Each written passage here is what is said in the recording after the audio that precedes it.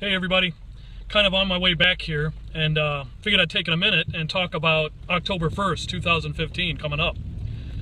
Will there be a government shutdown or not? Possibly yes. Simply because the fact that, you know, again, the money is run out.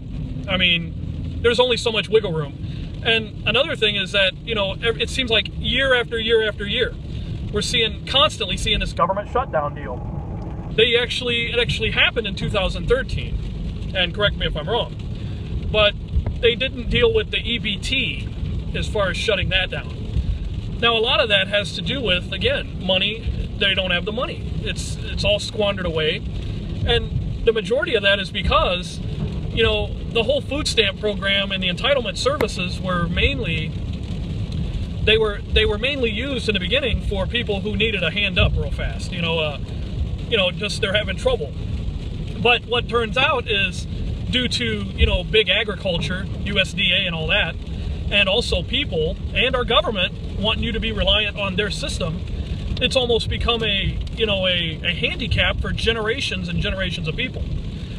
Now, will there be martial law and rioting in the streets if, uh, if they shut down the EBT? Possibly in certain pockets, certain areas, but uh, on a national level, I don't I don't see it happening. Mainly because you have you know 46 million people in counting every day that's you know getting onto EBT and entitlement benefits through the system.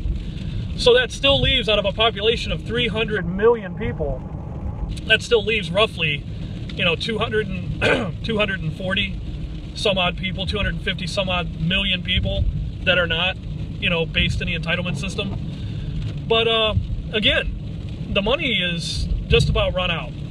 And I always hear people saying, you know, well, cut off the slackers and the people who just live on it all the time. And that's real, uh, that's easier said than done for two reasons.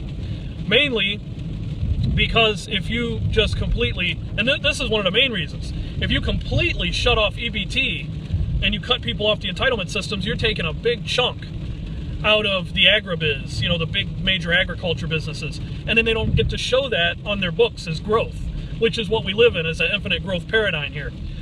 And, you know, a secondary factor is because people say cut off the slackers and get a, let them get a job.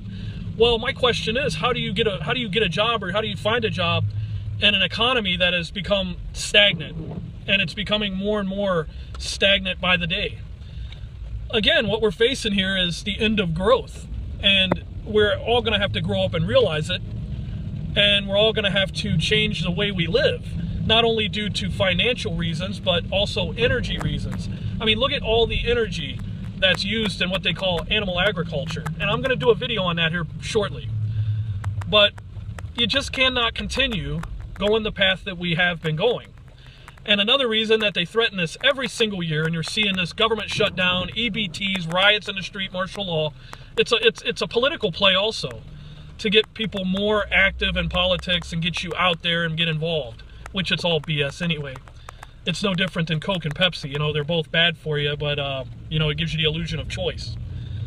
So, you know, government shutdown, yeah, most likely they will because the money's run out unless they come to some hokey agreement, you know, to keep things, to keep the ball rolling and keep playing the game even longer than what they're doing now. But again, this is why I try to preach to everyone to become more self-sufficient become more self-reliant. Do what you have to do to, you know, learn the ways of old because that's where it's going, whether we like it or not, me, you, or anybody. So, government shutdown October 1st, very possible, yes. EBT shutdown October 1st, very possible, yes. Uh, martial law and riots in the streets, probably not. I mean, you may see theft on a higher level in certain pocketed areas.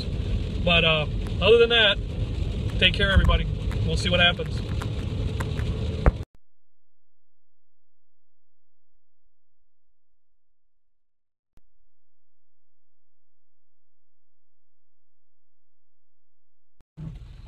Hey everybody, kind of on my way back here and uh, figured I'd take a minute and talk about October 1st, 2015 coming up.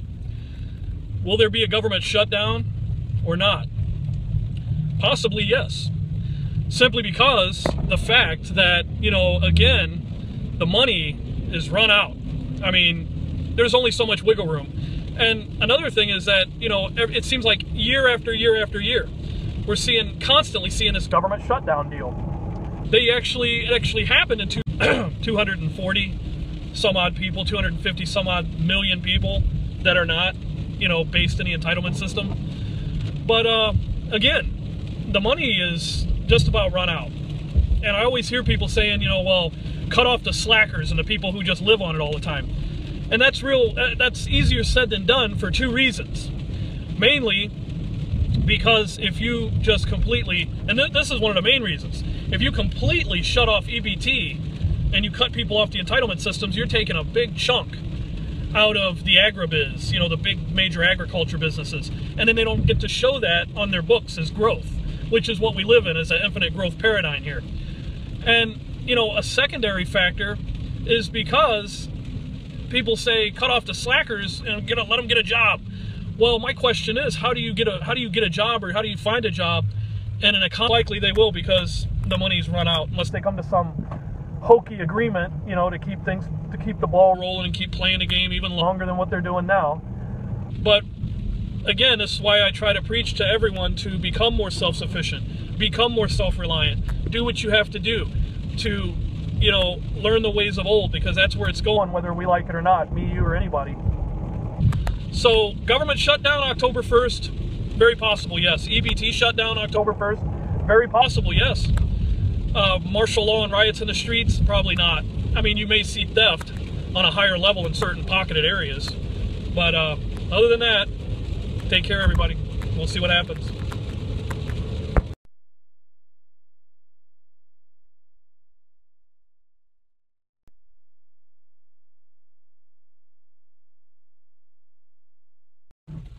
Economy that has become stagnant and it's becoming more and more stagnant by the day. Again, what we're facing here is the end of growth and we're all going to have to grow up and realize it and we're all going to have to change the way we live not only due to financial reasons but also energy reasons. I mean, look at all the energy that's used in what they call animal agriculture. And I'm going to do a video on that here shortly. But you just cannot continue going the path that we have been going. And another reason that they threaten this every single year, and you're seeing this government shutdown, EBTs, riots in the street, martial law, it's a, it's, it's a political play also to get people more active in politics and get you out there and get involved, which it's all BS anyway. It's no different than Coke and Pepsi. You know, they're both bad for you, but, uh, you know, it gives you the illusion of choice.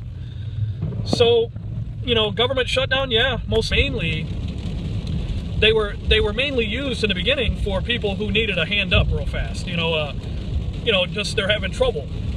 But what turns out is due to you know big agriculture, USDA, and all that, and also people and our government wanting you to be reliant on their system. It's almost become a you know a, a handicap for generations and generations of people. Now, will there be martial law and rioting in the streets if uh, if they shut down the EBT? Possibly in certain pockets, certain areas, but uh, on a national level, I don't I don't see it happening. Mainly because you have you know 46 million people in counting every day that's you know getting onto EBT and entitlement benefits through the system. So that still leaves out of a population of 300 million people, that still leaves roughly you know 200 and Hey everybody, kind of on my way back here and uh, figured I'd take a minute and talk about October 1st, 2015 coming up. Will there be a government shutdown or not? Possibly yes. Simply because the fact that, you know, again, the money is run out. I mean, there's only so much wiggle room. And another thing is that, you know, it seems like year after year after year, we're seeing, constantly seeing this government shutdown deal they actually, it actually happened in 2013, and correct me if I'm wrong, but they didn't deal with the EBT as far as shutting that down. Now, a lot of that has to do with, again, money. They don't have the money. It's, it's all squandered away. And the majority of that is because, you know, the whole food stamp program and the entitlement services were